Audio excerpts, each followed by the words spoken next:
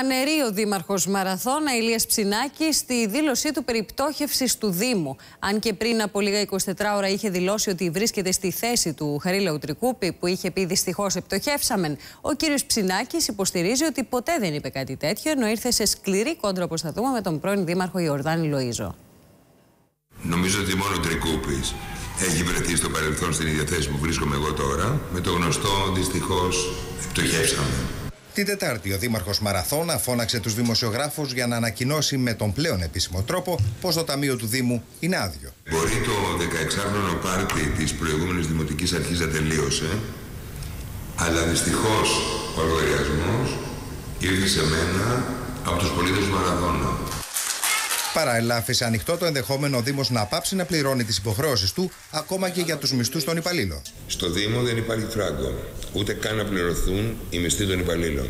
Ο Ηλίας Ψινάκης προχώρησε και σε σοβαρότατες κατηγορίες για την προηγούμενη διοίκηση του Δήμου και τόνισε πως διεξάγεται έλεγχος από την αστυνομία και από τους ελεγκτές δημόσιας διοίκησης. Αυτοί νομίζανε ότι εγώ θα μαυρίζω στους κάμπους. Δεν ξέρω κάτι θα δουλέψω.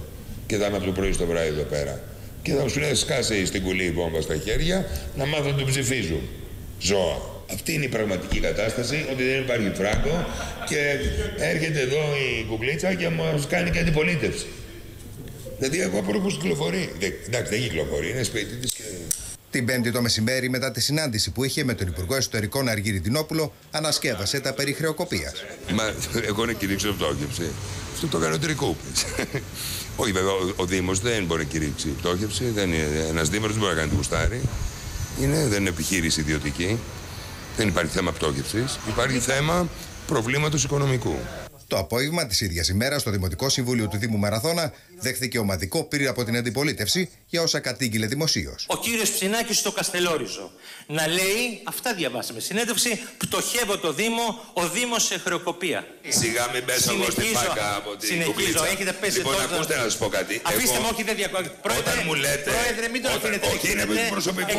Σε μένα απευθύνεστε. Κύριε Πρόεδρε, εκτίθεται. κύριε Πρόεδρε. Εκτίθεται, κύριε ναι. Πρόεδρε, προστατεύστε Λοιπόν, ακούστε να σας πω, όταν απευθύνεστε σε μένα και μου λέτε λοιπόν, να αλλάξω το ρεπερτόριο, δεν μπορώ να Γιατί με εξυπηρετεί. Με εξυπηρετεί. Έτσι δεν κάνουμε. Με σκοπτικό τρόπο, ο Δήμαρχος Μαραθώνα μίλησε για μια βόμβα που παρέλαβε την προηγούμενη διοίκηση και δήλωσε αποφασισμένος να πετύχει το έργο του. Μου αφήσανε μια βόμβα στα χέρια να μου σκάσει. Και εγώ τη βόμβα από χθες τους την έβαλα εκεί που πρέπει να τους την βάλω. Σύμφωνα με τα στοιχεία που έδωσε ο Ηλίας Ψινάκης, το χρέος του Δήμου Μαραθώνα ξεπερνάει συνολικά τα 12 εκατομμύρια ευρώ.